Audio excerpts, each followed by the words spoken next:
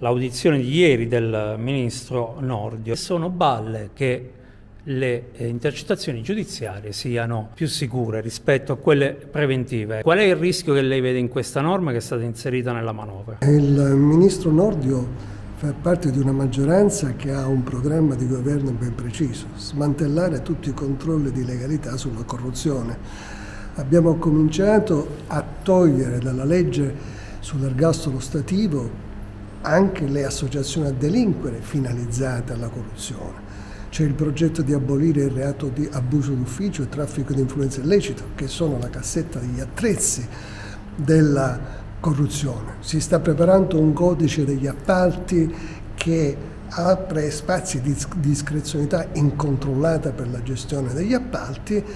e si sta demonizzando il settore delle intercettazioni giudiziarie della magistratura. Nordio ci ha molto sorpreso perché lui ha affermato che ritiene più garantiste le intercettazioni dei servizi segreti che vengono fatte senza specificare un reato, senza indicare le, i presupposti di quella intercettazione, che vengono richieste a un organo, il procuratore generale della Corte d'Appello di Roma, che non ha nessuna conoscenza delle indagini che vengono svolte nei vari territori, a Palermo, a Milano, e che quindi può autorizzare anche delle intercettazioni su persone che sono per esempio oggetto di intercettazioni della magistratura. Un organo che non ha nessuna competenza in materia di mafia e di antiterrorismo, come per esempio il procuratore nazionale antimafia e antiterrorismo, quindi un organo cieco, tra virgolette, di controllo, che non può controllare sostanzialmente niente. Il fatto che le intercettazioni dei servizi segreti siano più garantiste è veramente sorprendente, perché siccome non c'è lo stesso rigoroso controllo che viene fatto sulle intercettazioni della magistratura, la richiesta viene informata al pubblico ministero, devono essere rilasciate da parte di un giudice, possono essere dichiarate nulle dalla Corte di Cassazione, mentre invece nulla di tutto questo è previsto per le intercettazioni dei servizi segreti, dunque la privacy dei cittadini non sarebbe messa in pericolo dalle intercettazioni dei servizi segreti che sono fuori controllo, ma sarebbe messa in pericolo dalle intercettazioni della magistratura che invece sono controllatissime. Quindi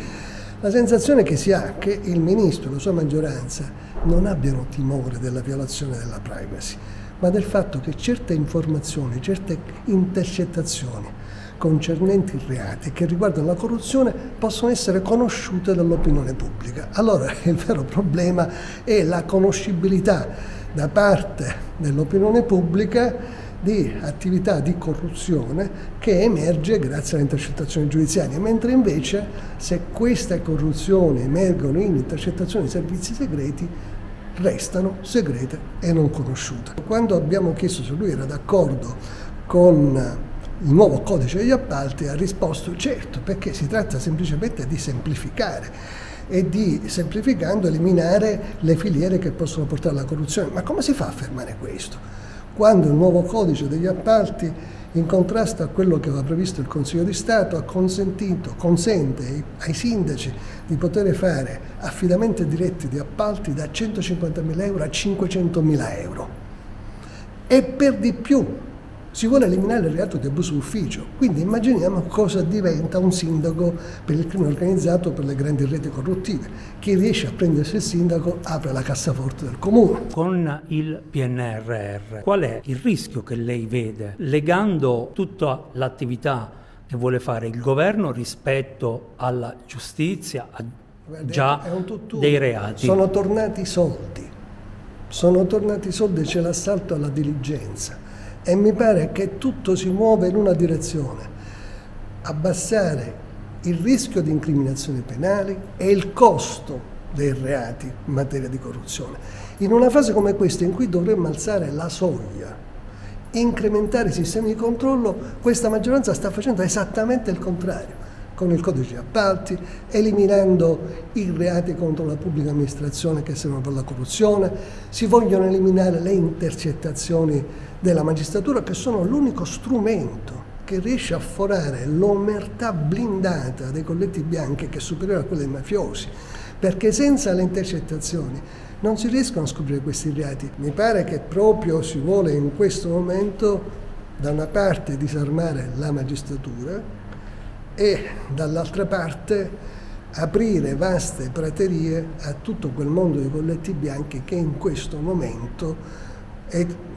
tornato ad avere diciamo, la possibilità, dopo anni di austerity, di mettere le mani sui soldi pubblici. Se noi velocizziamo le procedure,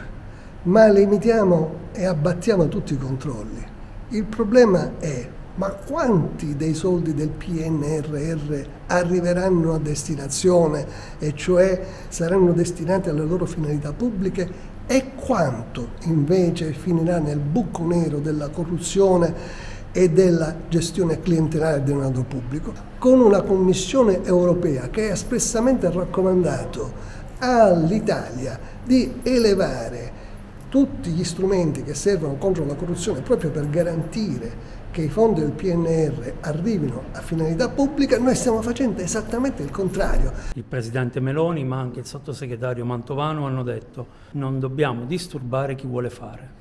Non dobbiamo disturbare chi vuole fare i soldi appropriandosi del denaro pubblico, potremmo dire, perché non sono certamente le intercettazioni della magistratura, non sono certamente i reati contro la pubblica amministrazione che possono impedire la velocità nell'assegnazione dei fondi. Un miliardo di euro di corruzione significa un miliardo in meno per i posti letto negli ospedali, per gli asili nido, per le pensioni.